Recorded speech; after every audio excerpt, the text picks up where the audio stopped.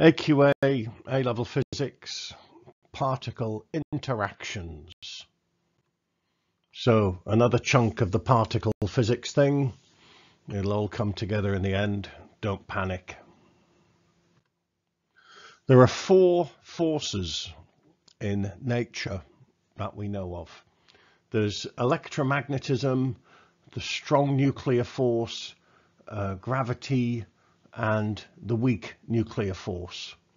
Uh, there was a time when there, it was thought that um, electric forces and magnetic forces were two different things. Now we know that they're just aspects of the same force, okay, electromagnetism. So they joined together into one force now that we know that they are one force. Uh, the strong nuclear force, I've talked about uh, that in another video, and the weak nuclear force as well. Um, gravity is possibly different from the other three uh, because it may be to do with just uh, a warp in the space-time continuum, the curvature of space-time, etc. But nevertheless, there are four forces that we know about, four different forces. Some people think that all four of them, maybe there's a, a grand unifying theory and they are actually the same force that we're just looking at in a different way. Anyway, four forces in nature. Now, in classical physics, how do these forces work? Well, something like, let's say, a positive charge creates a field. So we have a field surrounding this charge, and then if there's another object in that field, it is subject to a force.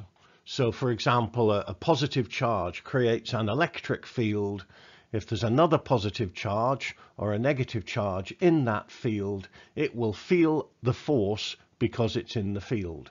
And that is action at a distance, that is classical physics. Quantum physics is a bit different to that. Quantum physics is all about these things called exchange particles. Each force has its own boson, and the boson is the force carrier the exchange particle. What does that mean then? Well, surrounding now, here's a, a positive charge and a negative charge, and surrounding each of them is a field of virtual photons. Now, they're not the photons which we know coming out of a light bulb. These are very strange, these virtual photons, they appear out of nowhere and then they disappear almost immediately. So these photons are popping up and disappearing and there's a ridiculously big number of them. Okay, the, the actual number of virtual photons would follow an inverse square law actually. Uh, but anyway, so that these messenger particles and the ones that come out of the or produced by the positive charge, the message is if you're negative, come over here, there's a party going on. If you're positive, go away. Yeah, so they carry a message to other charged objects, these virtual photons, these bosons. Now, the electromagnetic force, the boson is the virtual photon. Uh, the strong nuclear force, now um, the strong nuclear force, according to AQA, is carried by pions. Um, actually within a proton or, or a neutron, uh, it's actually carried by things called gluons. Uh, but we don't need to know about gluons, so I'm going to cross that out. You just need to know that the strong nuclear force is carried by pions. The weak nuclear force, you need to know, is carried by W plus and W minus bosons. Uh, and then the gravitational force, there is a theory that there is a boson called the graviton, but it hasn't been discovered yet. So you don't need to know gravitons, it's just a theory. And then Higgs boson, well, they certainly do exist. They've been uh, verified at CERN, but we don't need to know them either. We need to know uh, virtual photons for the electromagnetic. Uh, we need to know pions. We need to know W plus and W minus. They're the ones that we need to know. Okay, uh, interactions. What's happening here? This is a, a neutron decaying into a proton. It decays into a proton and an electron, which is emitted as a beta minus, and an antineutrino. Now, this diagram kind of shows what's happening. At the bottom here, that's my neutron. Uh, if you watched my video on quarks, you'll know that a neutron is up, down, down uh, decays into a proton, which is up, down, up. So what's happened is that a down has changed into an up. You can say it flips, a down quark flips to an up quark.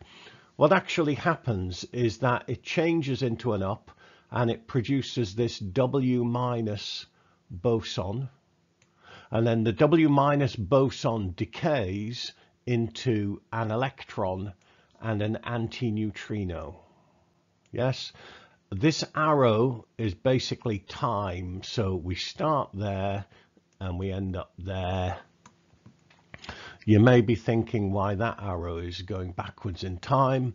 Uh, well, interesting. So that's beta decay, at least that's the neutron decaying. This is a proton decaying. Uh, can you see the differences?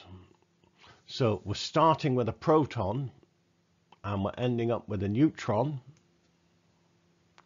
This time it's a W plus boson involved.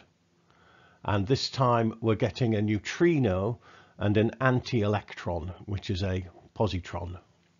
Again, some interesting uses of arrows there. I don't think you need to know that for these uh, anti-leptons, they're actually going backwards in time. You don't need to know that. Uh, these diagrams are actually called Feynman, uh, an American physicist, Richard Feynman, uh, invented these diagrams to explain, to help explain what's going on in these interactions. Um, here's another interaction. This is electron capture.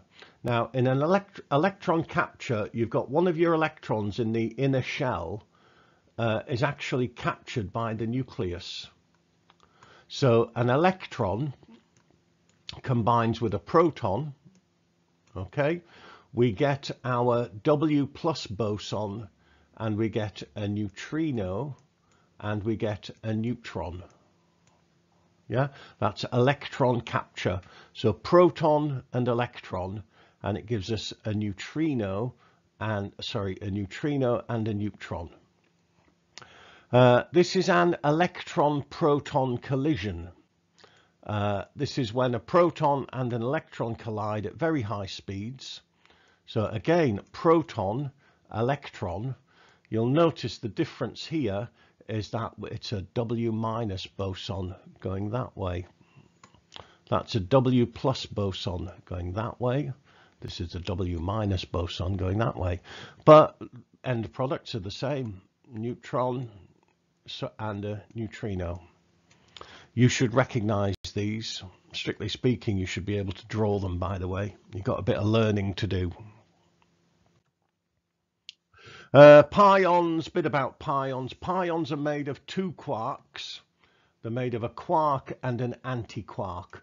Uh, there's uh, pi plus, there's pi minus, there's pi zero. These are the three types of pion. Uh, the pi zeros can be up anti-up or down anti-down.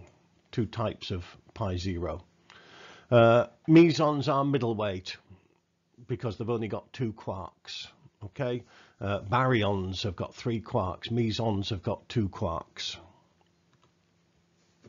And mesons are the force carriers for the strong force.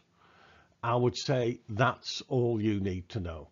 Uh, mesons carry the force between protons and neutrons, between proton, proton, neutron, neutron, uh, and they carry the force between protons and neutrons. Inside, as I mentioned before, it's actually all about these things called gluons, but we don't need to know that.